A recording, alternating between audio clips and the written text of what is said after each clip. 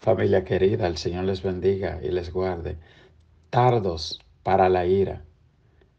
Muchas veces los proverbios nos hablan de la sabiduría de temer a Dios y de hacer decisiones correctas. Hoy nos hablan de inteligencia emocional, de cómo nosotros podemos dirigir nuestras emociones, nuestros pensamientos, nuestras palabras, nuestras acciones a partir de lo que enseña la palabra de Dios. Y yo creo que el verso central de todo esto está en Proverbios capítulo 16, verso 32, que dice, mejor es el que tarda en airarse que el fuerte, y el que se enseñorea de su espíritu que el que toma una ciudad.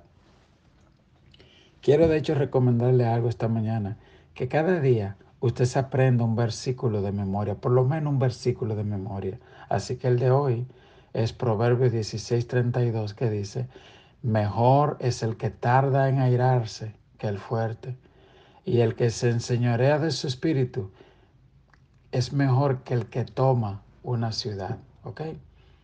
Entonces, eh, la lectura para un año, la Biblia en un año, Santiago capítulo 2, Jeremías capítulo 23 y 24 y el Salmo 130. La lectura de hoy está en Proverbios 16 del 20 al 33 y nos dice, el entendido en la palabra hallará el bien y el que confía en Jehová es bienaventurado. Esto me recuerda el Salmo 1. Dice, bienaventurado el varón que no anduvo en consejo de malo, ni estuvo en camino de pecadores, ni en silla de escarnecedores se ha sentado, sino que en la ley de Jehová está su delicia, y en su ley medita de día y de noche. Será como árbol plantado junto a corrientes de agua, que da su fruto en su tiempo y su hoja no cae, y todo lo que hace prospera. Eso es lo que la Biblia le llama la bienaventuranza del que recibe, confía y vive según la palabra de Dios. Jesús mismo dijo, si me amáis, guardad mis mandamientos. Así que eh, una prueba de qué tanto amamos a Jesús es qué tanto guardamos sus mandamientos. A mí me encanta la palabra hebrea para guardar porque en español pudiera parecer como que es guardarla dentro de una gaveta, pero la palabra guardar en hebreo es shomer, que significa vigilar, pararte, guardar como un guarda que está guardando un tesoro muy valioso. Esa es la palabra que se usa para guardar la palabra de Dios. Es para asegurarte que nada la contamine, ni siquiera tú mismo tu propio razonamiento, las propias ideas de uno, que siempre uno está justificando aún lo malo. ¿Ok? Y el verso 21 nos dice, el sabio de corazón es llamado prudente y la dulzura de labios aumenta el saber. ¿Quién es el sabio de corazón? La persona que sabe tomar decisiones prudentes, correctas. Usted sabe que a medida que a uno le pasan los años hay cosas que uno adopta por ejemplo, yo le digo a mi esposa, ya a mi edad yo tengo que tomar decisiones con pie de plomo. No puedo estar equivocándome a cada rato. Tomo ahora una decisión aquí, después echo para atrás, me voy para allí. No, no, ya a mi edad yo tengo que pensar las cosas, evaluarlas, medirlas muy bien, echar a un lado las emociones y tomar decisiones en base a datos, a información bien clara. ¿Ok? Porque después no, no puedo decir que, ay, que yo creía, que yo pensaba, que tú me dijiste. Nada de eso. ¿Ok?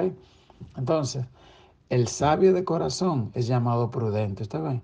La prudencia en las palabras, en las decisiones, en las acciones. El verso 22 nos dice, manantial de vida es el entendimiento al que lo posee, mas la erudición de los necios es necedad. Qué terrible cuando hay gente que son eruditos en la palabra, pero que son necios de corazón. ¿A cuántas personas pueden hacer eh, extraviar o caer? Dice, sin embargo, que el manantial de vida es entendimiento el que lo posee. Es el entendimiento. O sea, hay gente entendida que son como manantiales de vida, que cuando uno habla con esa persona, uno, la vida de uno le cambia. ¿Entiendes? Porque está, dice que es manantial de vida. Pero que el necio y, y erudito es una cosa terrible. El verso 23 dice, el corazón del sabio hace prudente su boca y añade gracia a sus labios. Claro, Jesús dijo de la abundancia del corazón, habla la boca, ¿verdad? El verso 24 dice, panal de miel son los dichos suaves, suavidad al alma y medicina para los huesos. ¿Qué quiere decir? Eh, de nuevo, saber refrenar los labios, las acciones, las emociones. Porque hay personas que no hablan, pero con el lenguaje corporal te dicen de todo. Entonces, ya usted sabe. El verso 25 es terrible, escúchelo. Proverbio 16, 25. Ese de otro de lo que usted tiene que aprenderse de memoria. Hay caminos que parece derecho al hombre, pero su fin es camino de muerte.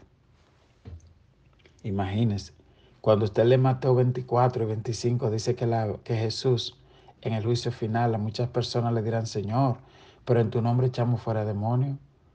Eh, hicimos, resucitamos muertos, hicimos todas estas cosas. Y Jesús le va a decir, nunca te conocí. Yo estuve enfermo y no me visitaste en la cárcel y nunca viniste a mí. Ve, tú fuiste al supermercado y sabías que fulanito, de los dos pollos que tú compraste, necesitaba uno y tú nunca se lo llevaste. Viviste para ti solo. Y usted sabe, uno puede equivocarse porque Dios gobierna esta tierra, explicaba en este día en la iglesia, por medio de su presencia. La presencia de Dios trae descanso y paz. Y también por medio de principios que Él estableció. Fíjese. Por ejemplo, el principio de la siembra y la semilla. Si tú siembras una semilla de maíz, no vayas a buscar aguacate. Alguien dijo en este día en la iglesia y me encantó. Si usted vio una gente que sembró maíz y de puta lo ve con aguacate, es ladrón. Es cierto. ¿Cómo es posible que tú siembres eh, ingratitud, eh, malicia, engaño, mentira, hipocresía, y tú crees que vas a cosechar cosas buenas. Si la cosechas es porque el ladrón, el malo, te está engañando, Satanás, y te hace cosechar unos frutos que parecen buenos. Y ahí es donde está el problema. Hay caminos que al hombre le parecen buenos. ¿Y cómo sucede este engaño? Sabemos que todo engaño, que toda mentira tiene un padre, se llama Satanás. ¿Cuál es el problema? Que es difícil. Satanás nos hace creer que somos nosotros mismos que estamos actuando, que estamos en lo correcto y ahí es donde está el problema. Y hay errores que se corrigen por medio del consejo, pero hay personas que han cerrado su oído al consejo y que ellos son ellos mismos. Y hay personas inclusive que leen la palabra y que la palabra le dice lo que tiene que hacer, pero aún así ellos se constituyen en más sabios que la palabra. A mí me ha pasado, porque hay situaciones donde usted tal vez quiera hacer la cosa de una manera, pero tú sabes lo que dice la palabra de Dios.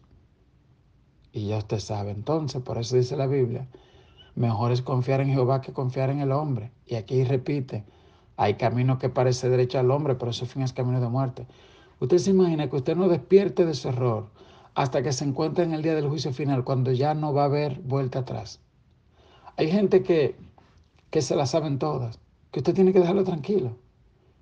Qué terrible sea que el día que ellos despierten, ya sea cuando no haya nada que hacer. Apartaos de mí, malditos, al fuego eterno, dice la palabra. Hay gente que dice, no, no hay infierno, porque si Dios es tan bueno, ¿cómo va a mandar gente para el infierno? Dios no manda a nadie para el infierno.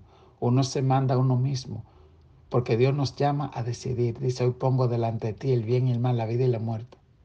Ustedes que tienen que escoger cuál es la semilla que va a sembrar hoy. Ayer ya pasó, yo le digo a la gente, fíjate que Dios puso todo delante. Los ojos, la boca, la nariz, ¿entiendes? Atrás, Él puso, bueno, para, para, los, para echar los desperdicios atrás. El tiempo pasado quedó atrás.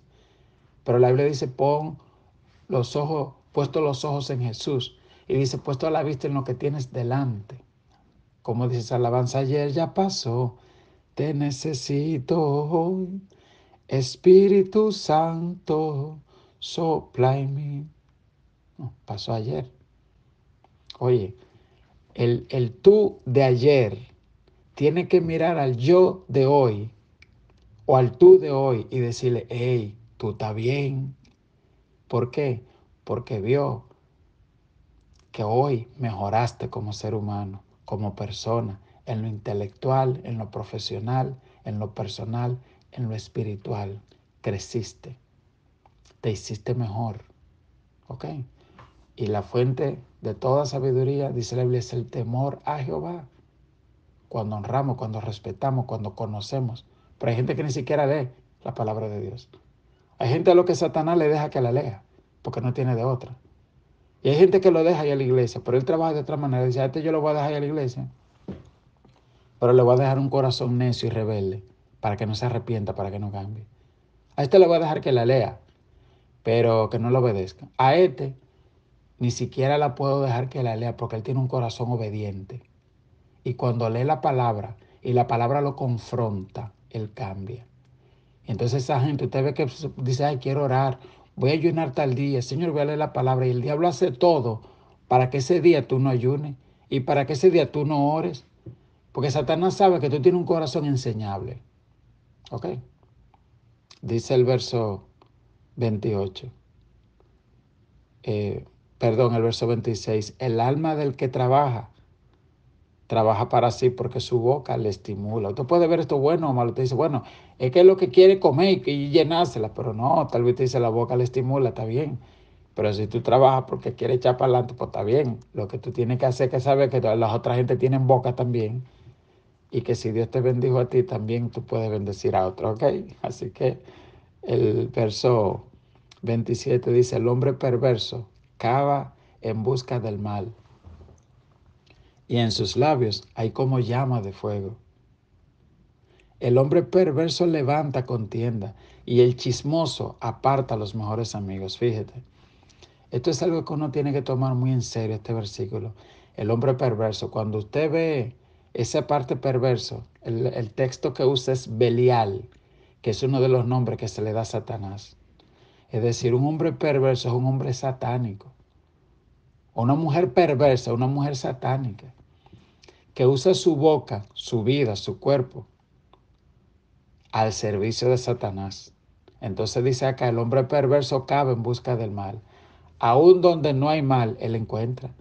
Tú le dices, hay gente que yo digo que son puerco espín como el puerco espín, como los cayucos. ¿Usted sabe lo que es un cayuco? Una mata de guasábara llena de espinas que usted no lo puede abrazar. Tú abrazas un puerco espín, aún tú lo vas a abrazar y le vas a dar un beso y te, y te hinca, porque es que lo que un puerco espín, ¿qué vamos a hacer?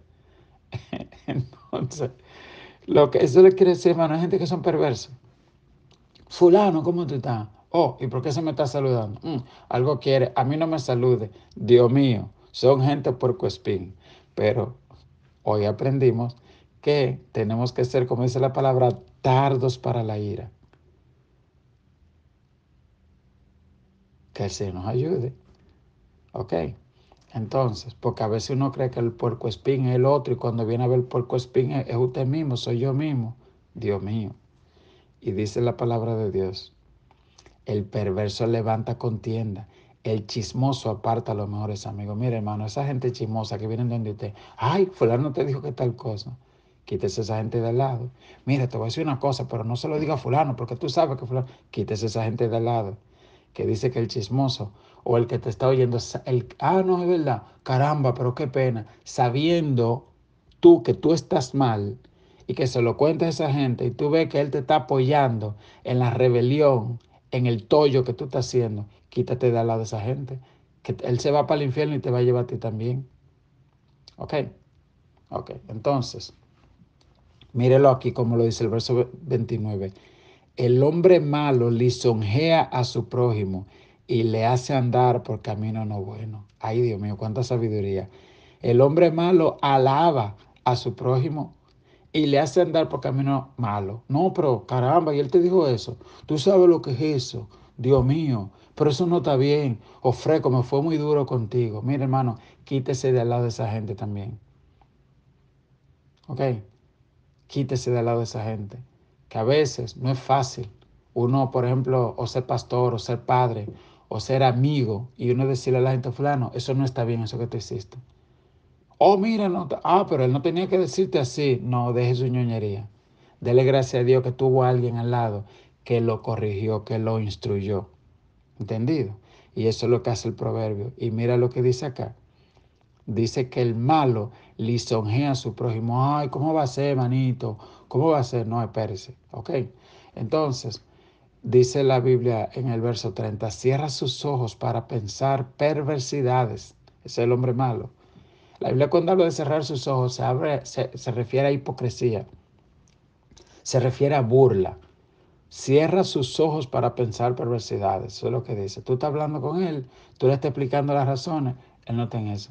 Él está en perversidades. ¿De dónde viene el problema? De que es, de que es un hombre belial, dice acá. Ahora, Satanás no hizo gente, quien la hizo fue Dios. Si uno tiene en un momento, un momento de rebelión, de lo que sea, uno tiene que recordar un momento, yo no soy hijo de Satanás, yo soy hijo de Dios. Ve. Y ahí uno activa lo otro que se llama la presencia. Porque yo decía, por eh, principios, que si tú siembras yuca, tú cosechas yuca. Si tú trabajas duro, Dios permite que tú tengas un trabajo. Ahora, eso no garantiza que tú vas a tener ni la presencia ni la vida eterna. Y por eso hay gente que se ha engañado con la prosperidad, con la riqueza y, se y confunden una cosa con la otra. ¿okay? Verso 31, corona de honra es la vejez que se halla en el camino de justicia. Qué hermosura. En otra versión dice las canas. Corona de honra son las canas que se hallan en el camino de la justicia. Esos ancianos, esa gente mayor, que usted ve que han sido gente íntegra, recta, mire hermano, dele, quítese el sombrero ante esa gente. Yo me acuerdo una vez cuando empezamos la iglesia de la marquesina, había un señor que pasaba y siempre que pasaba se quitaba el sombrero cuando pasaba frente a la marquesina. ¿Por qué? Porque no era una marquesina, porque la marquesina tenía un letrero que decía Iglesia Evangélica Renuevo. Y cuando él pasaba frente a la iglesia, se quitaba el sombrero y después se lo ponía. Y yo veía a ese señor y, y yo decía, mientras, mira qué admirable lo que este hombre hace.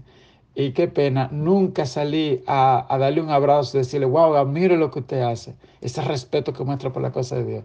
Nada, un día nunca más lo vi, un día nos mudamos de ahí. A veces la gente no tiene que decirle la cosa en el momento. ¿Ok? Entonces, y aquí viene el verso 32, mejor es el que tarda en airarse que el fuerte, y el que se enseñorea de su espíritu que el que toma una ciudad. Verso 33, la suerte se echa en el regazo, más de Jehová es la decisión de ella.